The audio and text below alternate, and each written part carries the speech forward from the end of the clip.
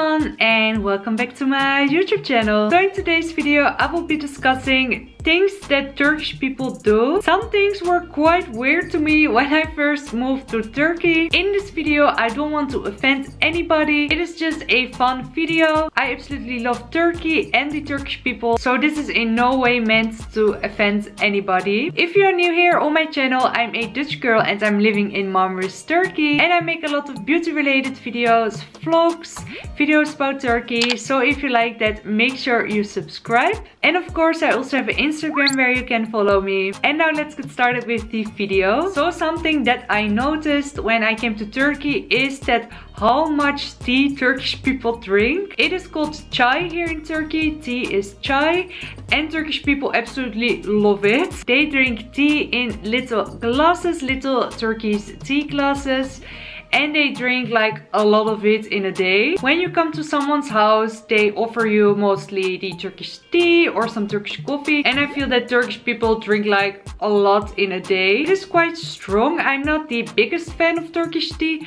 I prefer like Ada chai, which is sage tea or like another green tea. I prefer that because it is quite strong. But it is really nice to try it if you come to Turkey. You get it everywhere here. If you go to a restaurant after your dinner, they offer you some Turkish tea. You have also little tea houses here in Turkey where you can drink a lot of tea. Yes, that is something that I find quite funny is that just how much tea they drink. Something else what I find so funny is that uh, when you go to a restaurant with a group of people um, they're fighting about who is paying the bill. And I mean that in a good way because everyone wants to pay that bill. So they're fighting each other and putting money to the waiter or like the credit card because they want to pay it. And I find it so funny because the first time I saw it, I was like, what are they fighting about? And still sometimes I'm like surprised because they're like shouting because Turkish people are quite loud.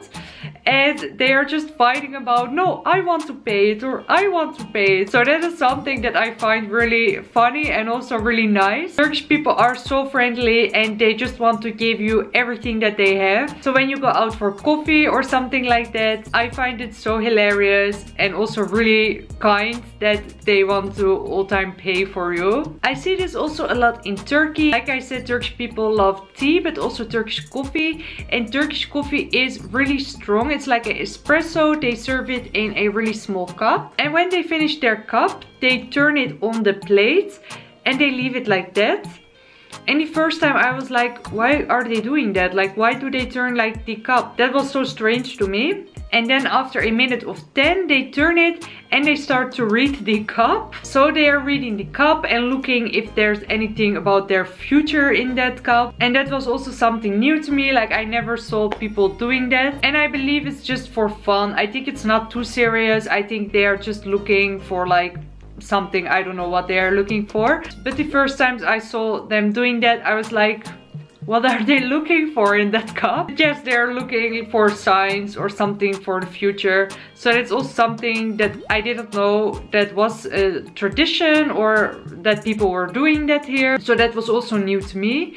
But now I know if I see people in a restaurant turning their cup, I know later they will be looking at it. So if you see people doing that, maybe in a Turkish restaurant, um, then you know what they are doing. Something else that I didn't know the meaning of is this. So when I ask someone a question and they did this to me, I was like, what does mean? what does it mean? And it means no. So normally in the Netherlands we just shake our heads and I think in a lot of countries they do it. So I didn't know that means no. I was like, what does it mean? What do, do they mean? But yeah, now I know it. So if you ask a question to someone who is Turkish and they do it's mean no. Then when you go to someone's house and they offer you some food, uh, they don't they don't take no for an answer. If you say you're not hungry, Turkish people don't really care. They give you food anyway. When I visit my mother-in-law, for example, she always brings out food or fruits. Like for example, we had dinner, then after we go drink some coffee or tea, and then also with some kind of sweets or fruit. So Turkish people are like so inviting, and like I said, they just want to give you everything. If you say to someone, I'm not hungry, um, they probably will give you food anyway.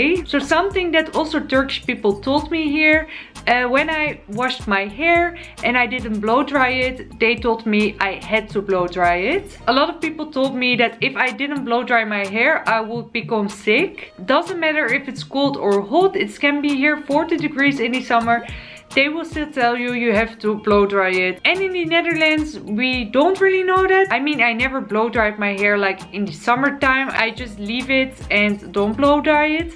But that's also something that Turkish people will tell you. If you go out with wet hair, you will become sick. So that are just a few things that I was quite surprised by here in Turkey. Again, I hope I didn't offend anybody because I love Turkey and the people here. And I really hope you guys enjoyed this video. If you did, don't forget to give a huge thumbs up, subscribe to my channel and hit that notification bell so you won't miss any new videos. And of course, you can also follow me on Instagram.